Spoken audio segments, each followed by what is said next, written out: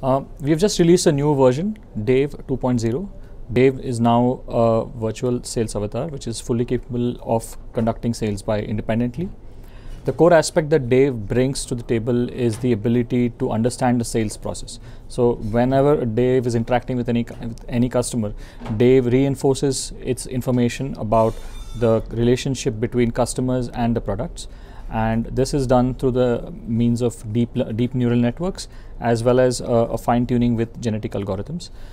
Dave uh, not only uh, does Dave uh, is able to uh, sell specific products, it's able to value sell, which means that it's able to understand which features or uh, uh, factors about the product is likely to influence the purchase decision of a customer and these are some things that, that Dave learns through the process. When new products get added, then the, the, cold start problem doesn't exist with Dave because it's able to adapt itself based on new features that the, that the products are, are, are, uh, are having dynamically.